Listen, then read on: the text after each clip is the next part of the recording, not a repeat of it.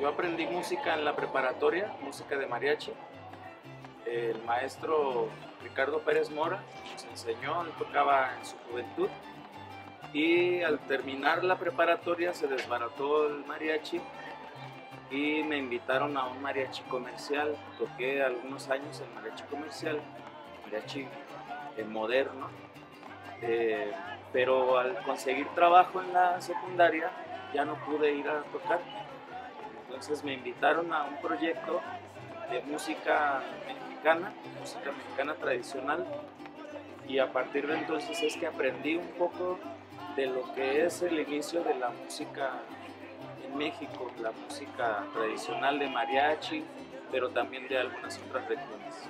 El mariachi tradicional ahora es una palabra y un concepto que no está muy bien definido todavía,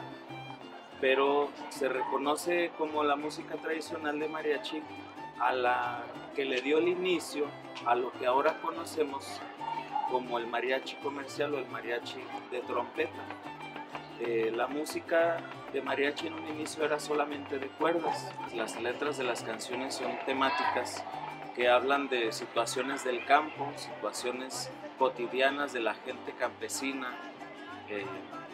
y pues nos platican precisamente experiencias de lo que vivían con, con los animales, con eh, la vida en, esa, en ese contexto. Una vez que esta música eh, se va, o mejor dicho, los músicos van a México para conseguir mejores oportunidades, más dinero, obviamente, llegan a México, empiezan a hacer su música ahí en la ciudad, tocando en las cantinas, y en las cantinas descubren esta música y en el cine de oro mexicano empiezan a introducir esta música, al principio solo de cuerdas, y después, eh, por la misma necesidad de enriquecer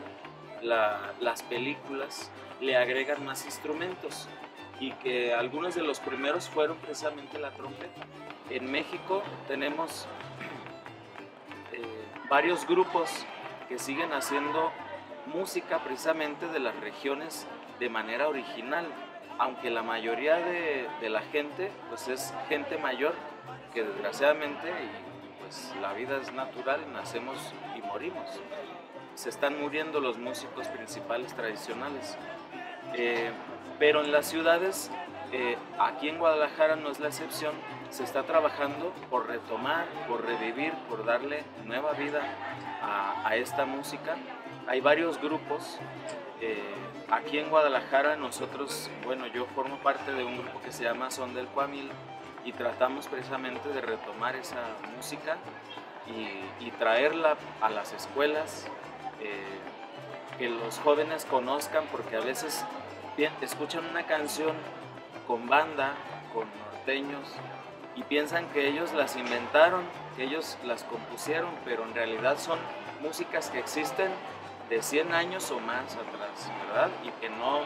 generalmente desconocen esa parte de la historia de, la música mexicana y pues esa es como la labor de, esos grupos que estamos retomando ese tipo de música. Híjole, cuando yo entré a esto, hace rato les, comentaba que pasé del, mariachi comercial o el mariachi moderno al mariachi tradicional por invitación casi, este, de hecho, de un maestro que también trabaja aquí en la secundaria, Fernando Echeverría,